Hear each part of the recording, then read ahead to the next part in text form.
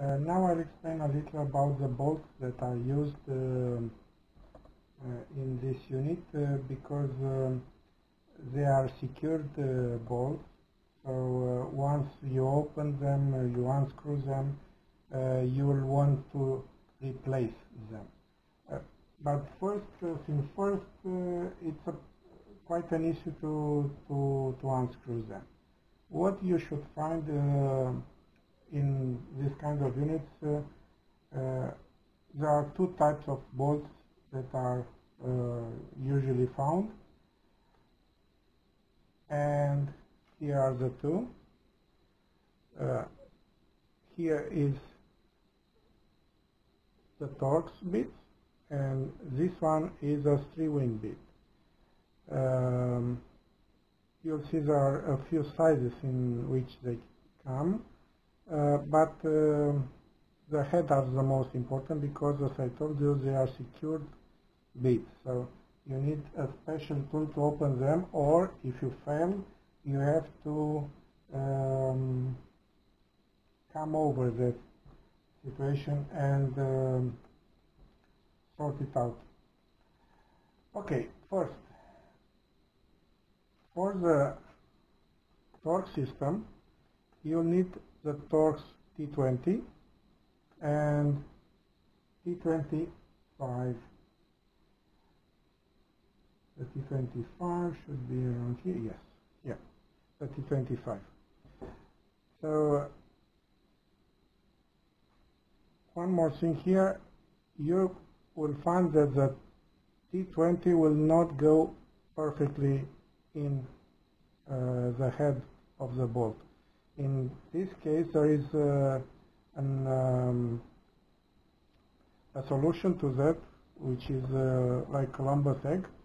Uh, you just need to fix the bit in the best position and then hammer it uh, until it locks so you can very carefully unscrew it.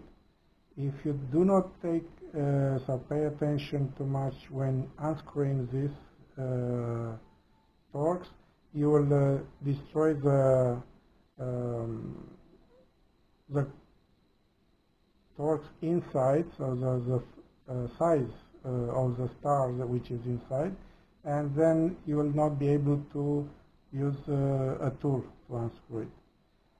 The same thing applies to the three wing, which uh, you should have this kind of set in which there is a bit like this one. This is a three-wing bit. So if you just put it carefully into the head of the uh, bolt and very uh, uh, applying very good pressure and rotating at the same time, you might be lucky to unscrew it. Uh, if you are not and uh, you destroy uh, the head, then there is another solution to, to, to take this out.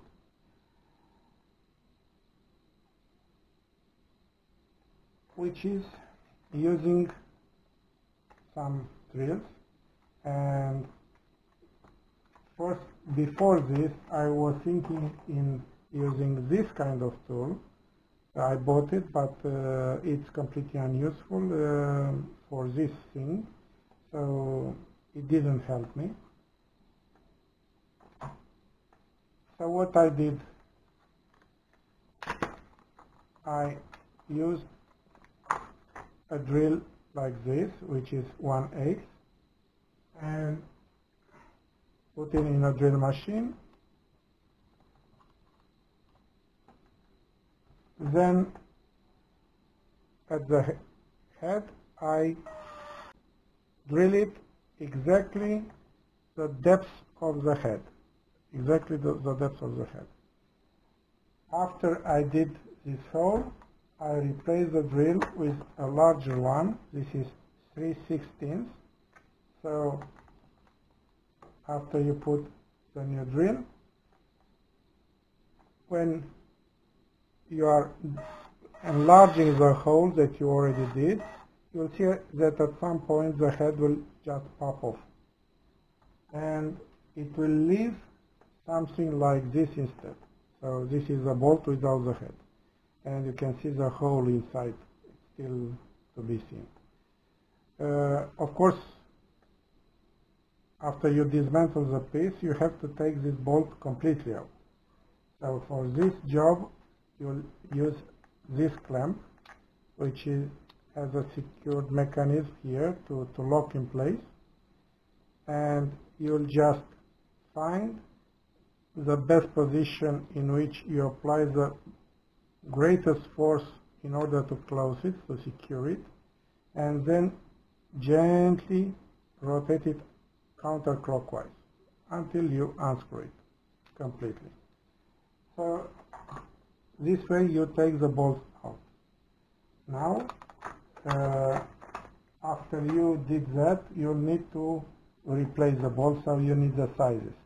Uh, all the all the bolts are metric bolts, so you'll find uh, not too easily, but I could find it uh, in uh, Home Depot uh, in some drawers.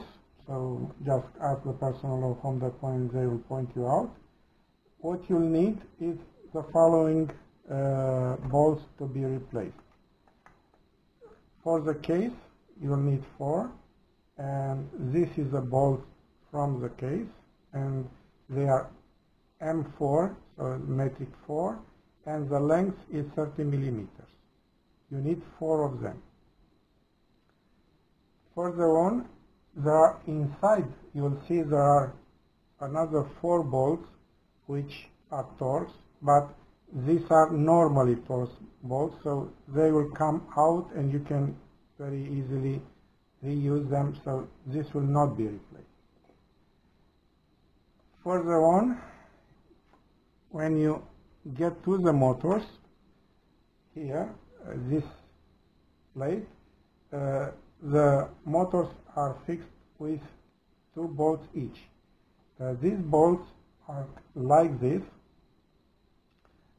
They are metric 5, so M5, and the length is 20 millimeters. And the last, if you want to do that also, uh, the reservoirs are fixed with six bolts. The six bolts are like this. So uh, they are metric 4 and 4 and the length is 15 millimeters. You need six of them. So after you have the bolts and um, everything in place, you can put back the unit. But do not forget the uh, rubber O-rings, uh, which comes to the each end to uh, at the end of the motors and seal the motor inside the unit. Just for you to know also the dimension because I didn't find in some other places. So this is the diameter, the inside diameter is about 39 millimeters and the depth of the rubber, uh, the thickness is 1.8 millimeters. So you can, if you can find these O-rings and you can replace them very well. If you cannot, just use them the one that you have, but be careful not to be uh, damaged in any way. These O-rings are from inside and from here. So they come right here at the head and it secures. So we look inside to have those uh, rubber sealings in place they are okay. The pump, the ceramic from the pump must be sealed from the face, the surface of the base of this uh, piece through these two rubber rings.